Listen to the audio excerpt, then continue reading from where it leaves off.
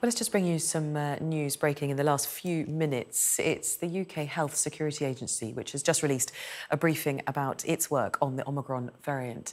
It seems that more than half of the people in the UK with the variant have been double jabbed.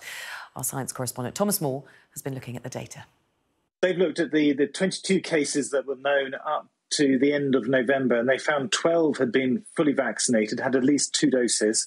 Uh, two cases had had uh, at least one dose, uh, and six uh, hadn't been vaccinated. Two, there was no vaccination uh, status. Now, it's not, it's a, at face value, that will look quite alarming that there are so many people who have been fully vaccinated who are developing the Omicron variant. But remember, too, that the vast majority of the UK population is now vaccinated.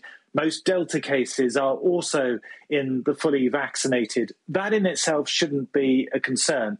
Uh, but I think we're going to have to wait a few more days, perhaps even weeks, before we get a full idea on how well the vaccines are protecting against this new variant.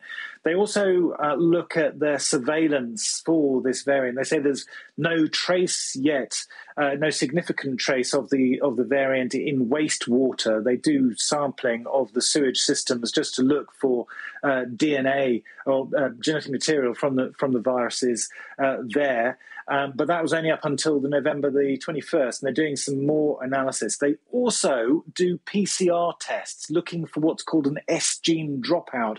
That's indicative of Omicron and various other variants, but it is separate to Delta. Delta doesn't have this uh, this dropout, uh, and so it's a real red flag that they're looking for at the moment. And they say that in in the last week, cases of this uh, S gene dropout have risen by 141 percent. So certainly that is what they call uh, an early signal uh, of concern, something they're going to look at very very closely.